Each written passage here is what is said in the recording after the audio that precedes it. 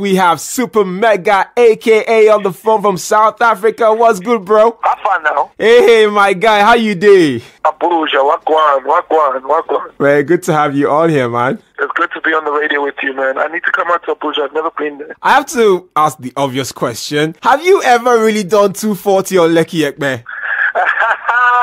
Let me tell you what, when I was coming, you know, to, to Lagos a lot, to stay with that, you know, at Bernard's crib, right? And uh, he, he had this, this cold uh, Lexus drop top. Uh, so, so I don't know if we did 240, but uh, I definitely touched road. see, I see, man. What is your favorite thing about Nigeria?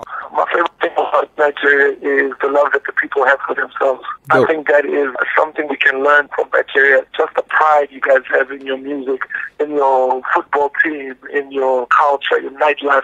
The confidence is just through the roof. And I think that's really, really cool.